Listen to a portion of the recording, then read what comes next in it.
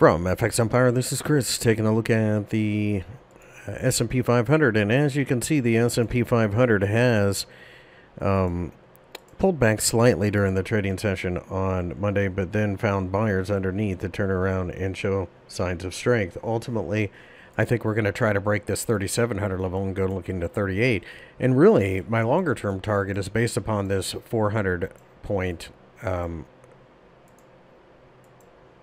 range here, extrapolating that from 3600 gives me a target of 4000 and I do think that um, that's where we go. Now, I don't know how quick we get there, but this slow, steady grind into the end of the year looks like a Santa Claus rally for me just waiting to happen. Keep in mind that Interactive Brokers and Robinhood were both down early in the day.